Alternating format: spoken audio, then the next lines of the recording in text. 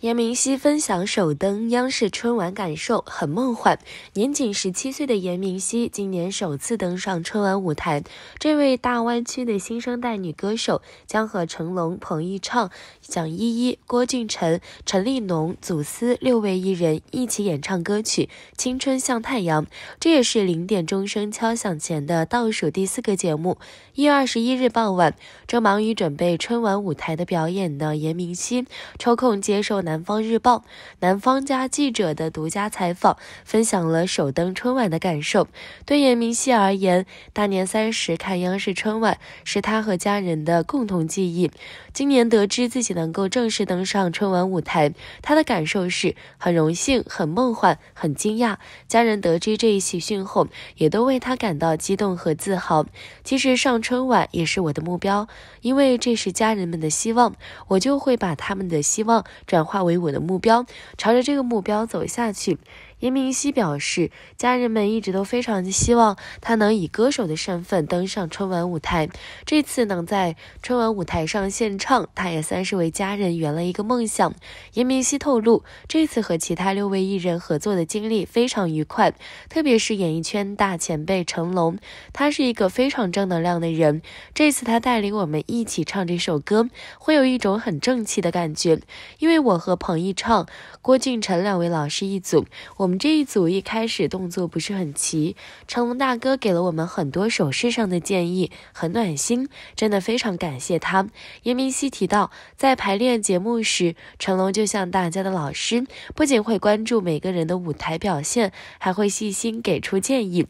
在成龙的带领下，大家从一开始的面面相觑，到后来有了默契，表演也渐入佳境。我们排练了很多次。看到大家都很努力，尽全力去表演，所以我也会和他们一起努力。希望观众会喜欢我们的节目。严明喜说：“虽然上台前有些紧张，但严明喜已经想好，表演结束后要和大家一起吃饺子倒数。”他还透露，结束春晚的工作行程后，他将会和家人一起回家乡。广东汕尾过年，享受团聚时光。七姐严明喜，原名王嘉恩，二零零五年出生于香港特别行政区。他与其他香港中学生不同的是，他是一名双非儿童，身处香港地，这个背景会使他饱受攻击。但另一方面，这样的身份也一定程度上帮助了他的歌星事业。平日里，他都是住在香港的姑父家，也是姑父一直陪伴他走这条歌手之路。二零二一年，年仅十六岁的他参加了 TVB 举办的选秀节目《声梦传奇》。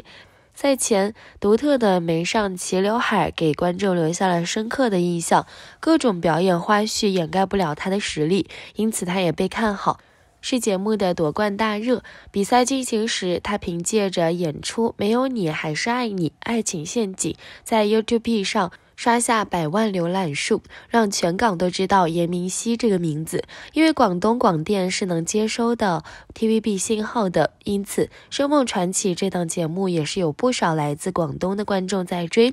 也是在此，Gigi 收获了第一批来自内地的粉丝。他也不负众望，过关斩将，一路杀入决赛，更在决赛当晚夺下专业评选大奖、观众热选大奖以及代表全场总冠军的传奇新星奖。他一夜在香港地区爆红，成为全场热话，正式踏入娱乐圈。同年九月，Gigi 推出个人单曲《真话的清高》，成功出道。单曲 MV 在同样在 YouTube 里创下百万浏览量。为庆祝香港回归二十五周年，湖南广电和香港。电视广播有限公司联合推出的港乐劲唱献礼节目《生生不息港乐劲》，邀请了林子祥、叶倩文、李克勤、李健等一众大牌歌手。因为积极的内地背景，他的普通话比很多同龄人要好，并且更适合推送去两地交流平台上。作为主办方的 TVB 将自家歌手严明熙推上了这个节目，他很幸运地成为参加《生生不息》中年纪最。最小的歌手，而 Gigi 也十分争气，在初舞台上一鸣惊人，以一首《菲菲》成功闯入内地观众的视野。让人们认识到这位来自中国香港的宝藏女孩，在生生不息里积极有幸与前辈跟同龄人合作，在这一次舞台中交出了满意的答卷。在这趟旅程中，她收获了丰富的经验，也收获了内地观众的喜爱。